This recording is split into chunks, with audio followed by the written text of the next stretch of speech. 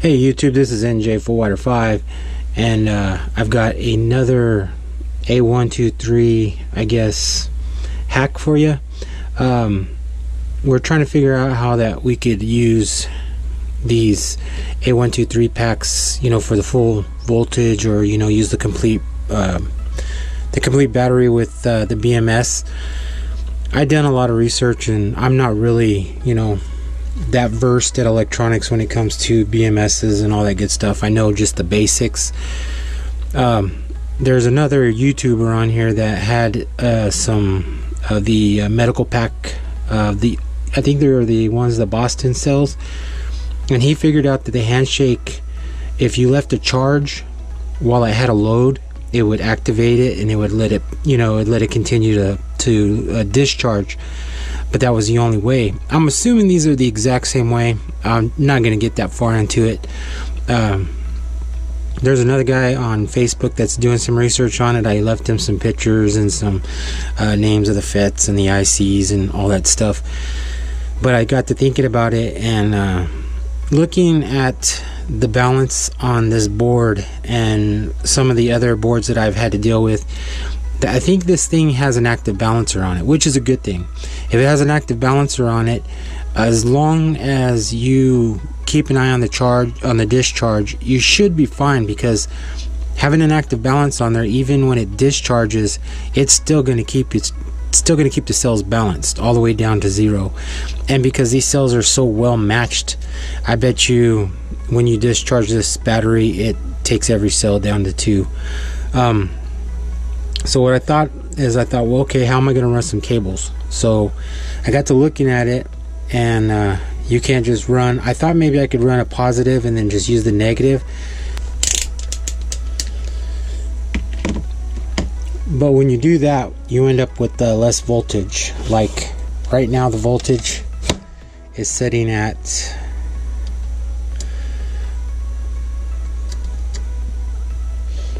Thirty-nine point eight. So if I take these off and I go to the negative of the battery, which I believe is this one right here, you go to the negative of the battery and then the positive, you're getting 39.8. A while ago I wasn't getting 39.8. Something was off. That's weird. Which is not a big deal. I still don't think I'm going to use it that way. I think what I'm going to end up doing because a while ago when I ran the voltage like that, I was getting less. Yeah, well, now I'm getting exactly the same. I think one of the FETs must have been engaged and I must have messing around with it might have knocked one out. Let me see what happens. Yeah. But you can pretty much put it on anywhere on here.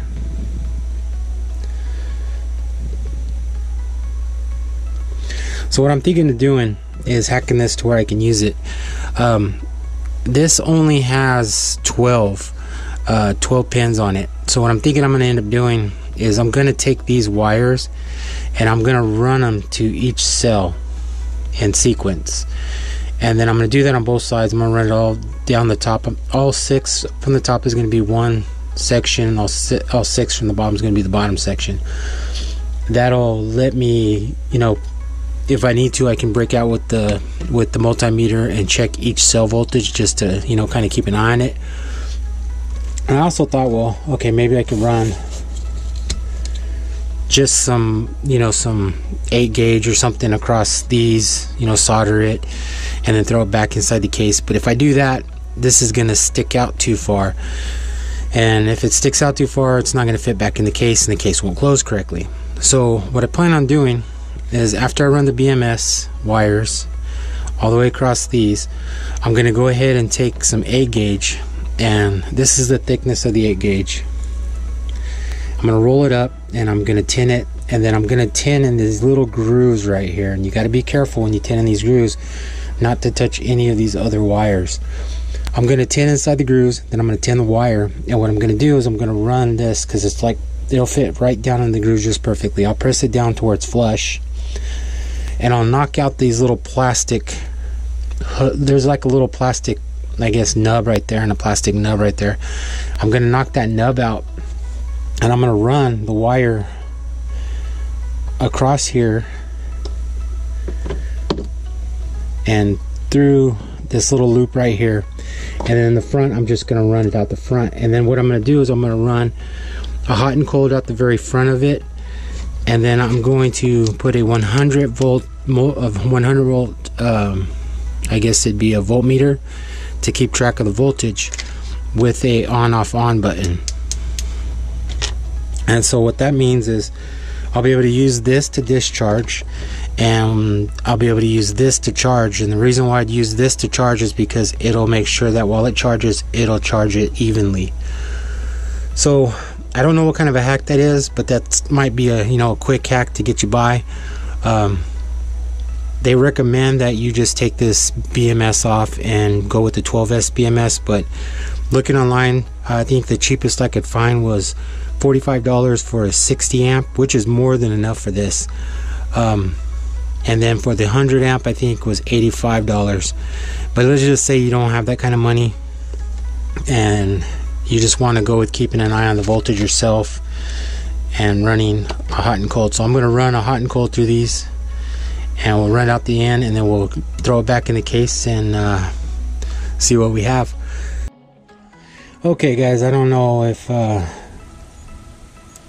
I'll probably cut that part out or where I tried to put uh, these uh, balance cables on. Uh, come to find out, after I made this cable, uh, I made a cable for it. I was to plug it in right here. Um, I'm to have to dissect one of these and have a look inside there because uh, I connected one of the negatives and it kind of gave a little spark like it was touching something. So uh, I have a feeling that not only are these connected to this right here, they're connected to the negative and positive uh, the input too. So um, you can't use this as a balance lead um, and have to refigure that and figure out what I did wrong. Or probably so many are positive and so many are negative. It could be vice versa, or maybe all the bottom is negative and all the top is positive. I don't know. Uh, for now, I'm going to bypass that one. I'm not going to worry about it uh, I guess worst case scenario if I ever feel these are out of balance I can always um, open it up and uh, check it out maybe do a little testing a little bit later on just to see if maybe something got off but uh, yeah so uh, you cannot use this as a balance uh, as balancing as I had originally planned. So we'll move on to the next step, which would be um, adding a uh, uh, discharge cables.